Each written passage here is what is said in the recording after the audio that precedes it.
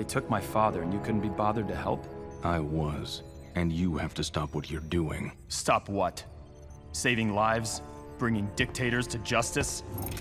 You're scaring them. Good! They should be scared. Too scared to pull the trigger or press the button. They should be too scared to hurt each other. You taught me that. You killed a man, Clark. Not a man. A monster. We can't decide who dies. One death. It always starts with one. I came here to make peace. But you can't possibly understand what the Joker took from me. I understand. You're in pain. Look at you. Sitting in the dark, ignoring Dick and Damian. How many friends of theirs died? Have you consoled them?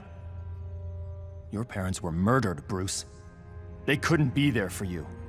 What's your excuse? Show me your hand. Come on, don't be you. Hairline fracture of the third finger. A little ligament damage.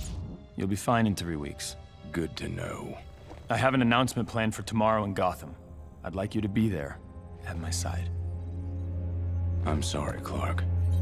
I can't do that.